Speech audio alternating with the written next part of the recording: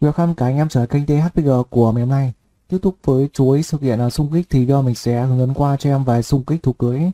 Và video sau sẽ là sự kiện là bó hồn, sau nữa là kỹ lăng và đồng hành và cuối cùng là xung kích di vật.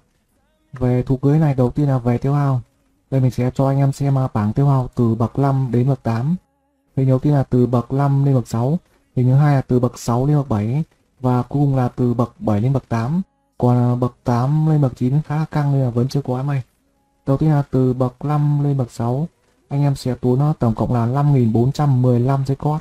Thì đó tương đương với 189.525 kim cương. Và từ bậc 6 lên bậc 7, anh em sẽ tốn tổng 30.620 giây cót. Thì đó tương đương với 1.071.700 kim cương. Nó gấp uh, gần 6 lần so với bậc 5 em ơi.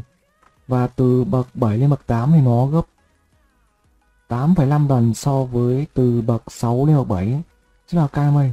Đây từ bậc 7 lên bậc 8 tốn 252.905 giây cốt Tính bằng ờ, kim cương thì nó tốn 8 triệu 851.675 kim cương. Anh em thấy cao không? Rất là cao luôn. Hơi tiêu một tí lạc này của mình ngày 9 không có xả sự kiện dây cốt Nên là chỉ có bậc ờ, 5.2 thôi. Từ 5.2 lên ờ, 5.3 thì tốn 305 giây cốt đây từ 5 bậc 2 lên ờ, 5 bậc 3 tốn ờ, 305 chuẩn rồi em ơi. Còn về trên cốt này, ngày thứ tư nó sẽ mở thú cưới. Thú cưới này, khi mở anh em chỉ cần lên cho mình bậc 3 hoặc là bậc 4 nếu anh em muốn mạnh luôn, mà anh em đừng có lên ờ, trên bậc 4 chỉ cần vừa tròn bậc 4 hoặc là vừa tròn bậc 3 rồi anh em tích dây cót. Đợi đến ngày 9 anh em xả. Game này lúc đầu ấy, mấy sự kiện anh em sẽ không có quá nhiều tài nguyên để em chơi full vào vòng. Như mình giờ ấy mới ngày 31 thôi. Đến sự kiện dây quát còn uh, nửa tháng nữa. Mà mình uh, đã có 2467 dây quát. 4 vòng chỉ có mất 2400 thôi. Tức là giờ mình uh, dư 4 vòng rồi. Nói chung là về sự kiện đợt 2 thì anh em sẽ không lo 4 vòng. Có lo chắc em chỉ lo được top bao nhiêu thôi. Và đa số các sự kiện đợt 2 trở lên anh em làm đủ 4 vòng. Nếu mà được top một anh em xả không được ấy. Anh em lách luôn. Đợi khi nào đủ thì anh em mới xả. Nói thẳng ra nó không tăng được bao nhiêu lên. Về sau chủ yếu là anh em kiếm tốt để mình kiếm đá thôi. Còn đá để làm gì? Đá để anh em mua trong à, tiệm à, dung kích. Đầy tiệm dung kích. Cái này của mình là chơi được shipper đầu tiên nên khá thọt.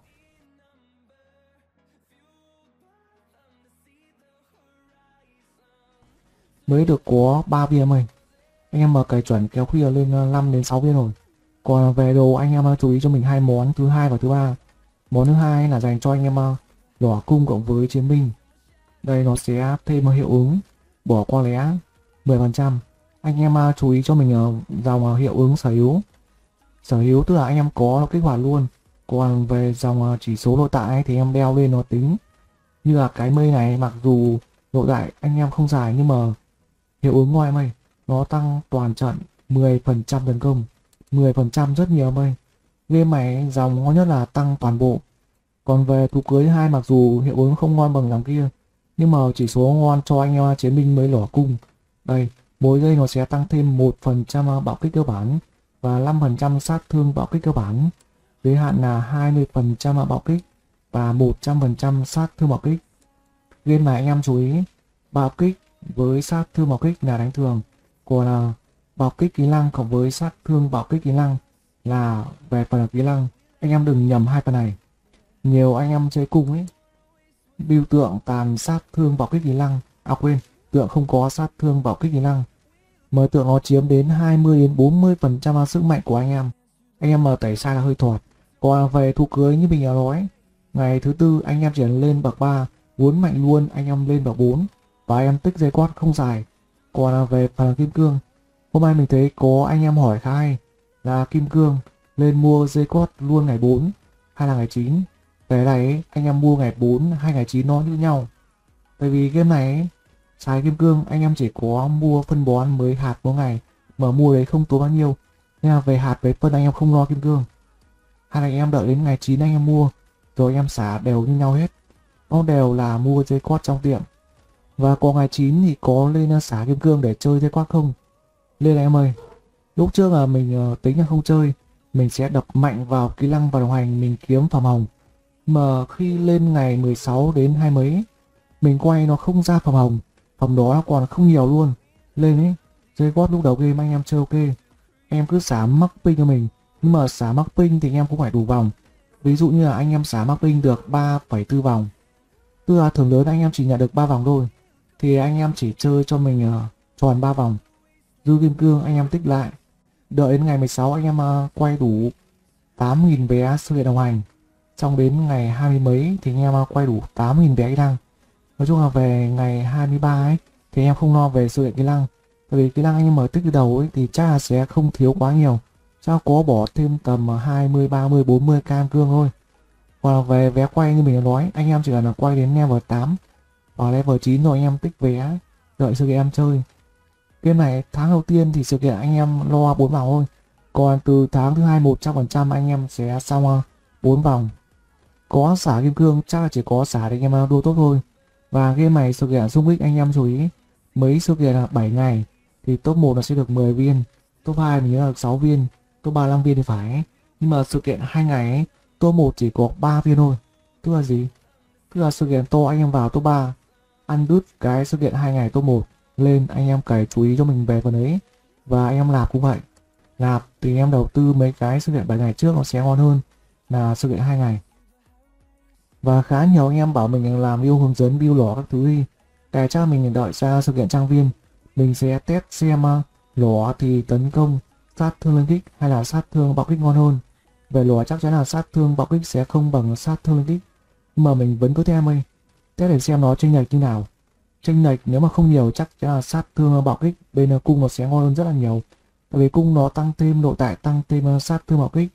Nên là tựa anh em mà thêm full sát thương bạo kích thì rất là ngon còn về sự kiện trang viên thì server mình khá xui. Vào thứ hai, lên và đợi gần tuần mới có em ơi. Còn à, về cái năng nổ, anh em mở chưa biết lên thì chú ý cho mình à. đầu tiên là tăng tốc này chắc chắn phải có. Trừ anh em pháp sư ra, mình thấy anh em à, chiến binh cộng với lò cung lên cho lớn tăng tốc, nó sẽ tăng thêm 30% tốc đánh bản thân. Và đầu game anh em mở không có cái năng ngon thì anh em chú ý cho mình bụi dây gai. Bụi này về sau em xài khá nhiều, tại vì lộ tại nó khá ngon điều nó sẽ đặt vòng bấy sát thương bỏ qua đi. Chủ yếu nó sẽ làm chậm 40% trong 5 giây. Mấy cái kỹ năng phẩm cao nó cũng là 40% nhưng mà nó sẽ tận 10 mấy đến 20 giây. Mở bụi dây này CD có 8 giây thôi. Anh em mở xài thêm ờ, đồng hành là giảm CD tầm 25% à, chỉ có tầm ờ, gần 7 giây thôi. Nó đánh liên tục luôn em ơi. Khá là ngon. Còn ờ, về phần kỹ năng ấy mình thấy kiêng đổ anh em chú ý cho mình cái đầu tiên này nó sẽ tăng thêm 30% sát thương lên mục tiêu phạm vi. Khá là ngoài mày. Tức là anh em đánh gì nó đều tăng thêm 30% sát thương. Cái hai choáng anh em để PK ok này. Anh em mở xài choáng này cover với cái đạn khói thì nó trùng với cái lộ tại ở phần uh, di vật. Đây di vật uh, cái thứ lao em ơi. Đây. Loa cái hình à, uh, ra này. Tượng thời gian. Nó tăng thêm 50% thời gian duy trì tức là nó tăng từ 5 giây đến 7,5 giây của kỹ năng tước khí giới hoa mắt trong mặt cộng với đạn khói. Đạn khói là cái mà tăng thêm 30% sát thương địch. Còn là hoa mắt trong mặt là cái choáng em mày. anh em mở xài cái hoa mắt thì cover thêm một lộ tại di vật khá là ngon. Anh em ờ, PK sẽ ok hơn. Còn ờ, về đi map thì lên cho em ơi. Game này anh em ờ, đi map hay là sự kiện các thứ anh em có thêm đồ mới là sẽ có lì xì thì gì anh em vào gia tộc đông thì chắc chắn nó sẽ ngon hơn. Nên anh em đừng có vào gia tộc quá vắng, chú ý cho mình về phần này. Nói chung là về kỹ năng anh em chỉ cần chú ý cho mình là lớn tăng tốc thôi. Đầu game chưa có kỹ năng ngon thì anh em à, cho bụi dây gai vào. Còn à, về đồng hành, đầu tiên là về cái giảm thời gian. Nếu anh em mở đi map, dùng được kỹ năng lần thứ hai thì em à, dùng ok. Còn không ấy thì em bỏ qua, dùng cái khác anh em lỏ, cộng với chiến binh thì chú ý cho mình là con chim. Chim thì nó sẽ tăng thêm ờ, sát thương đánh thường 30% mở phản kích hay là lên kích nó đều ăn vào sát thương thường. Chú ý cho mình về phần này. Anh em mở tốc độ cao, chú ý thêm ờ, xương rồng cao bồi. Cứ ba lần đánh thường nó sẽ gây thêm ờ, mục tiêu 40% sát thương. Mà sát thương đánh thường anh em cao thì chắc chắn xương rồng này lộ tại là cũng ít lên. Và khi anh em đi map thì nhớ cho oxy vào. Nhiều anh em không cho oxy đi map chứ là tù luôn. Đấy, anh em chỉ cần chú ý cho mình mấy cái quả này thôi. Còn anh em lỏ thì hồng thì chắc chắn là bạch bùa là ngon nhất. Vì đó tăng thêm 60% à, sát thương tích. mình à, nhớ là có con uh, rồng với con nào nhỉ? Ếch nhỏ cũng được này rồng ấy thì nó tăng thêm uh, 50% sát thương bọc kích đánh thường. Và 20% tỷ lệ bọc kích kỹ năng. Kỹ năng là cho anh em pháp sư.